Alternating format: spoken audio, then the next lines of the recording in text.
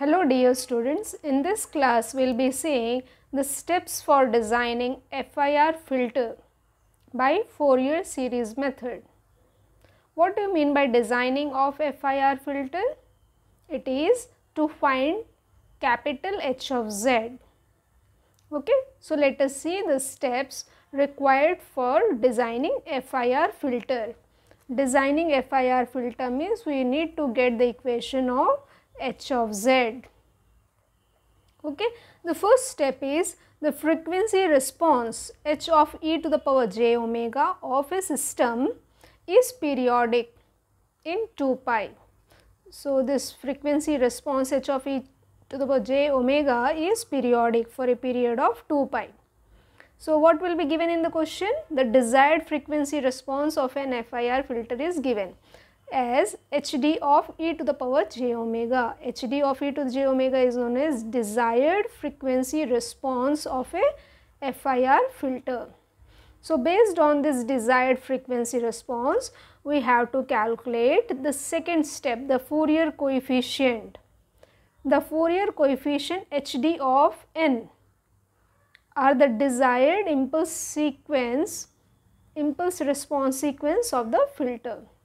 And how can we find hd of n? And we know Fourier inverse of hd of e to the power j omega, Fourier inverse of desired frequency response gives hd of n that is a Fourier coefficient. The formula for hd of n is 1 by 2 pi integral minus pi to pi hd of e to the power j omega dot e to the power j omega n d omega. So, based on desired frequency response, we have to compute the Fourier coefficient. And if you find the z transform of this Fourier coefficient, it will come as h of z. h of z that is z transform is formula is n is uh, summation n is equal to minus infinity to infinity hd of n z to the power minus n, but it is a non-causal filter of infinite duration. What is our target? Our target is to design an FIR filter. FIR stands for finite impulse response. Its impulse response must be finite, but this is giving an infinite. So, what we have to do next? To get the third step is to get the FIR filter transfer function, the series can be truncated. So, this hd of n which is of infinite duration is truncated to h of n based on this formula h of n is equal to hd of n for n mod n less than equal to n minus 1 by 2, 0 otherwise. The filter coefficient of infinite duration is truncated to h of n based on this formula. The fourth step is to find h of z, the transfer function h of z is given by, so we have seen this h of z formula here and by substituting this h of n here and simplifying, we will get this equation of h of z.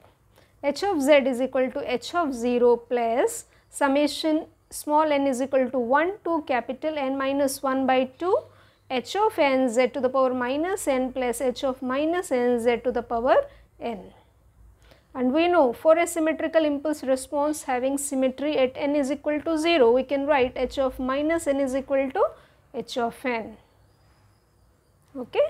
So, so this h of n and h of minus n both are same for a symmetrical impulse response. So, we have removed these two and written the formula as like this h of z is equal to h of 0 plus summation n is equal to 1 to capital N minus 1 by 2 taking h of n common z to the power n plus z to the power minus n. This transfer function h of z is not physically realizable is not physically realizable. Why? Because it is having positive powers of z. So, realizability can be obtained by multiplying z to the power minus n minus 1 by 2 which is h dash of z. So, h of z is not physically realizable. We have to make this h of z to be realizable that can be designed. So, we have multiplied this h of z with z to the power minus of n minus 1 by 2 to get, get h dash of z.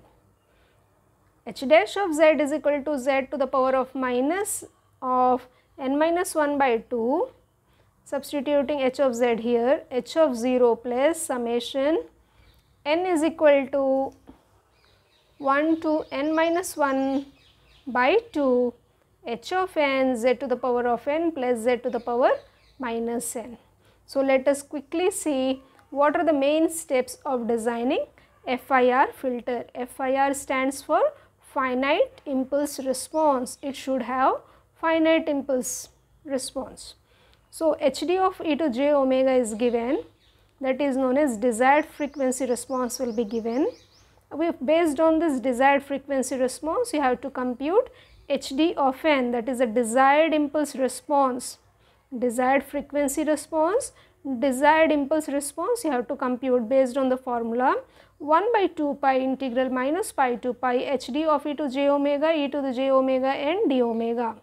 And based on this desired impulse response you have to compute h of n that is a truncated um, truncated desire impulse response truncated impulse response because we are designing FIR filter. This HD of n is of infinite duration, we have to truncate it. So, we are getting H of n after that and based on this H of n we are finding its Z transform to get H of Z. But this H of Z is not physically realizable. So, we are multiplying this H of Z with Z to the power of minus of n minus 1 by 2 with h of z to get h dash of z. So, these are the steps to be followed for designing FIR filter. First compute HD of n desired impulse response, truncated impulse response, transfer function which is not physically realizable, h dash of z transfer function which is physically realizable. So, our target is to get HD, h dash of z. I hope you have understood the class. Thank you. Good luck students.